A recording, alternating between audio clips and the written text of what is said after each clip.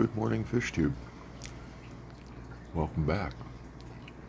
Um, so, this tank is now running, I would have said it was 70% uh, new filtered water. Yesterday, uh, I just did probably a 60% water change and then put uh, most of this in here and this was pretty much completely newly filtered water. So I say we're in the 90s right now probably for saturate like saturating the old water out. Probably got 90% of it out right now. And this tank is after the water change and it's going to settle out a little more but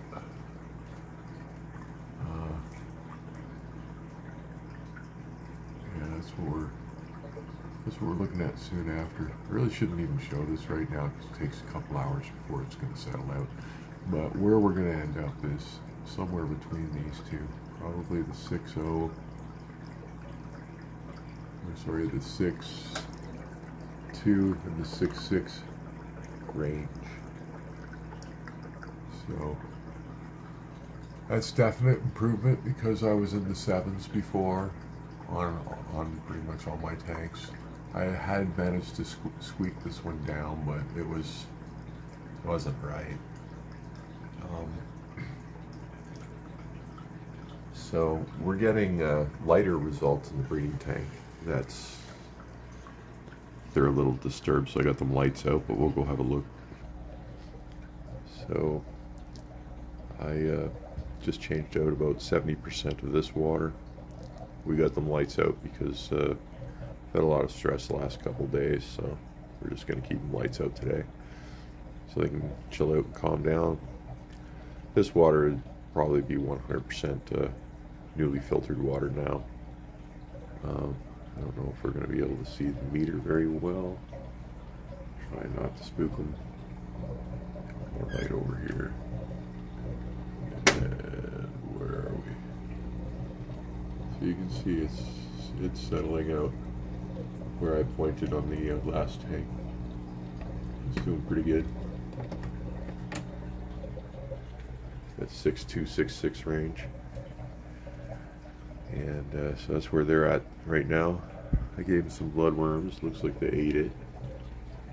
So they're calming down. But they're definitely, if I turn the lights on, they're they're skittish right now, so we're just going to let them calm down. Um, we're trying out a new heater from Amazon. Uh, this is, I got it 25% off and it was $15 for a 100 watt heater. Seems to be working just fine. It's getting me up into 85 degrees. And uh, the dial says something like nine, it tops out in the 90s. Probably going to bump it up to make sure I can do 86, 87. I have a sponge filter coming today for this, and uh, one of these, one of these guys. I gotta get another pump going on the on these two tanks, and uh, I'll have everything arranged like this down here. I moved the, the sponges down because uh, one of the, one of the discus touched the heater and almost jumped, well, tried to jump out of the tank. There's a lid. And I was like, whoa, can't have that. So now we're shielding it that way so we never have that additional stress factor in the tank.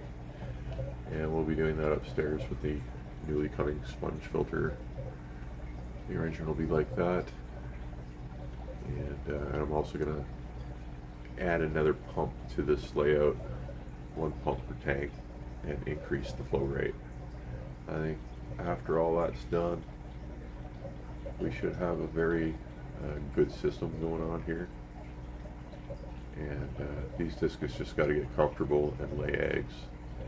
She's definitely got a batch in her belly, and uh, we just we just got to make sure they're they're gonna be happy. As you can see, they're starting to wander around, and uh, I just changed their water, so they'll, they'll get over it soon.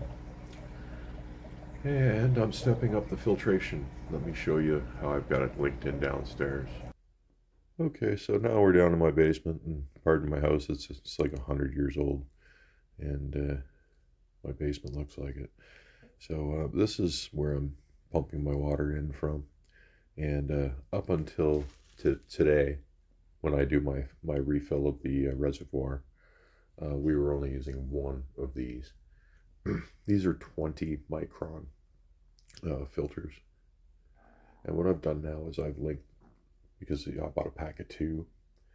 Uh, I've linked uh, both of them in. So whatever the first one misses, hopefully the second one catches, and uh, hopefully I can just step it up a little bit this way. It it works. The flow is fine, and uh, that's where we're going with that.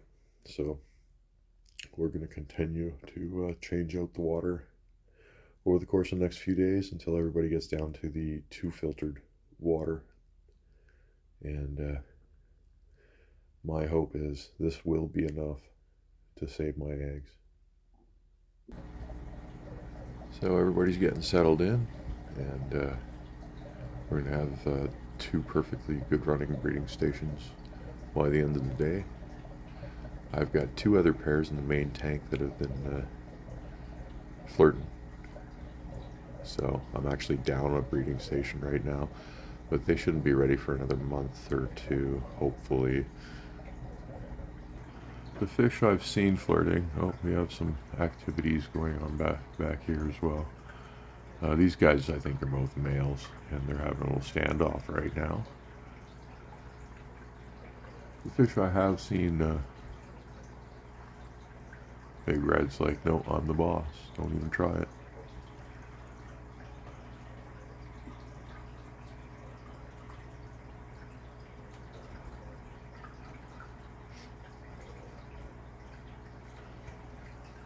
Yep.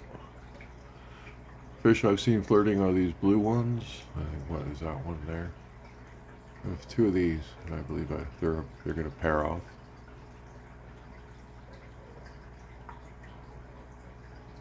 And it might even be these two right here. Uh, brilliant Turks. I got a couple of those getting ready to. They're doing. Uh, doing some of the early flirting, early courting stuff that I've seen the snakeskins do. So we'll see what happens there. Probably gonna end up with like way too many pairs and not enough spots to house them, but I guess it's a good problem to have. I'm working on it though. Got another stack of three 20 gallon uh, breeder stations on the table in the works lumber's collected. It's gonna it's gonna be it's gonna get done. And we're gonna have some babies. So yeah. I'm hoping my little 20 to $25 filter solution is going to pull enough of those heavy metals out of my city tap water for my eggs to survive the four days they need to in order to hatch. And if this works for me, I'm going to be happy because it's a relatively cheap solution. Uh, if it doesn't work, I'm going to step it up by adding in a 5 micron uh, $100 uh, dual filter system so they'll be it'll go through another I'll run them all and eventually I'm gonna I'm gonna get I'm, I'm gonna dial it in. But uh, again the uh, RO solution I'm trying not to go that way because it's wasteful with water and it's expensive in a thousand different ways. It'll probably make my landlord hate me. And uh, yeah. So we're just not gonna do that I don't want to be wasteful at all. Right now I'm using like a bathtub of water a week. It's not a big deal. And uh, so that's where we're at for today. Fish are doing good. Water's looking clean. And all the filters are running beautifully. Ciao for now.